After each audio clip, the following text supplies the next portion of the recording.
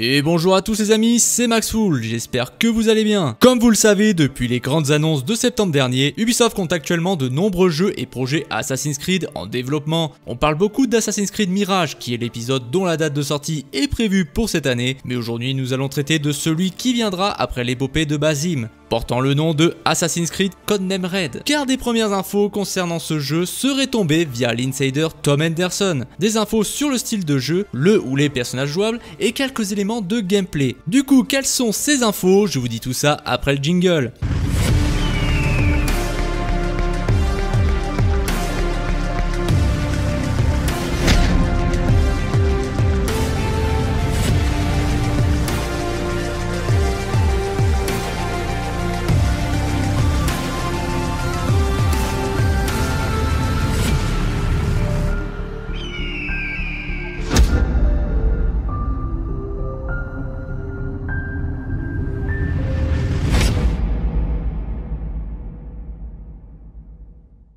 Ça devient récurrent, mais c'est une fois encore grâce à Tom Henderson que nous avons le droit aujourd'hui à cette vidéo. Effectivement, l'insider via son site internet Insider Gaming a dévoilé quelques informations sur Red, le premier jeu Assassin's Creed du projet Infinity. On sait que suite aux problèmes financiers et en interne chez Ubisoft, le studio a décidé de se concentrer sur le développement de jeux autour de leurs licences majeures et les plus rentables, donc Assassin's Creed. Le jeu devrait sortir en 2024, c'est en tout cas ce que prévoient les équipes en interne, mais vu le contexte actuel, je serais pas étonné qu'il soit décalé en 2025. Pour rappel, Assassin's Creed Codename Red est le prochain épisode majeur de la licence Assassin's Creed après Mirage. Il reprendra la formule action RPG introduite en 2017 avec Assassin's Creed Origins, puis renouvelée par la suite avec Odyssey et Valhalla. Enfin bref, vous connaissez l'histoire. Du coup, prochain opus majeur en monde ouvert, Codename Red aura pour mission tout d'abord de prendre la relève de la trilogie Origins Odyssey et Valhalla, car Mirage n'apportera pas de réelle révolution puisqu'il reprendra des éléments qu'on a déjà eu dans les précédents jeux, de manière bien sûr plus poussé et donc amélioré, mais c'est vraiment le projet Infinity et donc le Codename Red qui sera la réelle révolution pour les prochains jeux Assassin's Creed. Il a également pour mission de poser les pieds au Japon, un univers réclamé depuis très longtemps par de très nombreux joueurs et joueuses. Donc un épisode en Asie, plus précisément durant l'époque du Japon féodal, qui proposera deux personnages jouables. L'époque du Japon féodal est une période très vaste donc je ne pourrais pas dire vers quelle date ça se situerait. Concernant les protagonistes, selon Tom Henderson, le premier serait un personnage féminin, apparemment celle que nous voyons dans le teaser du jeu qui serait une guerrière appartenant aux samouraïs. Le second serait un réfugié en provenance du continent africain qui deviendrait un shinobi, donc on se rapprocherait plus des ninjas et il suivra la voie des assassins. Les deux personnages auraient donc une histoire différente, pas comme dans Odyssey ou Valhalla, et il y aura des conséquences sur le gameplay car chacun aura son style de jeu. En revanche, nous savons pas vraiment si ce Assassin's Creed Red nous fera alterner entre l'un et l'autre comme dans Syndicate, si ce sera un choix définitif comme dans Odyssey, ou s'il sera possible d'alterner entre eux à tout moment sans aucun impact dans l'histoire, comme ce qui s'est fait un petit peu avec Valhalla. Mais selon les infos, on se rapprocherait plus d'un choix définitif. Pour revenir sur le choix du shinobi ou du samouraï, c'est une option que je trouve très intéressante, car on sait d'une manière générale que les samouraïs étaient des guerriers appartenant aux classes plutôt nobles issues de grandes familles, donc proches du pouvoir, tandis que les ninjas shinobi provenaient souvent des classes inférieures. Cela pourrait suggérer que les samouraïs sont plutôt du côté ordre des templiers, ou l'ordre des anciens selon l'époque, une théorie qui me semble plutôt logique, puisqu'on sait que les templiers sont généralement proches du pouvoir en place, donc proches de la noblesse.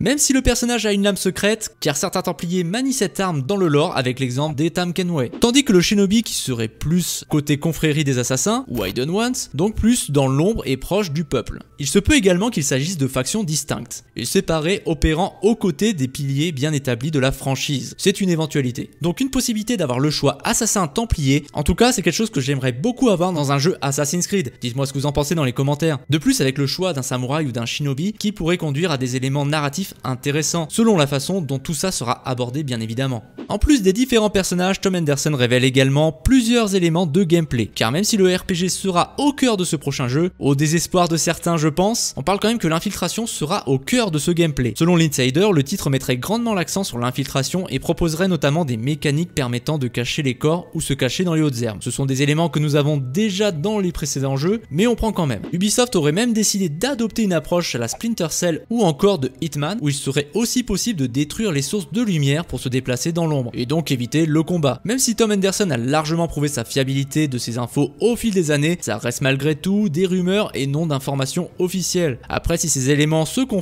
il devrait assurément faire plaisir aux fans de RPG et du Japon, zone géographique très réclamée par la communauté. Maintenant, à voir pour ceux qui préfèrent le côté infiltration et parcours, car on a bien vu ce que ça a donné un jeu Assassin's Creed en action RPG, en espérant que ce prochain Assassin's Creed sera pas un énième recyclage et qu'il apportera clairement une réelle révolution dans son gameplay, pour enfin réussir ce bon mélange entre anciennes et nouvelles formules. Du coup pour le moment on ne sait officiellement pas grand chose du jeu et je pense que nous n'aurons pas de nouvelles officielles du moins sur ce jeu car Mirage devrait poursuivre sa promotion avec la présentation de gameplay à l'E3 si ce dernier a bien lieu sujet qu'on a abordé dans la dernière vidéo, donc je vous invite à aller la voir. Du coup, pour revenir sur les infos, nous savons qu'il est prévu sur les consoles Xbox Series, PC et PS5, et qu'il a pour ambition de marquer un changement technologique et de gameplay avec ce passage sur cette génération de consoles. En tout cas, c'est la fin de cette vidéo. Que pensez-vous de ces informations? Êtes-vous hype par ce codename Raid Avez-vous des craintes? J'attends vos commentaires avec impatience. Du coup, j'espère que ce contenu vous a plu. N'hésitez pas à venir en témoigner dans les commentaires. Je me ferai un plaisir de vous répondre, à nous soutenir en mettant le pouce bleu et à partager la vidéo sur les réseaux sociaux. N'oubliez pas de vous abonner si ce n'est pas encore fait tout en activant la petite cloche pour ne rien louper de nos contenus. On se retrouve très prochainement dans une vidéo. C'était Maxful de la Assassin's Creed Experience qui vous dit bye bye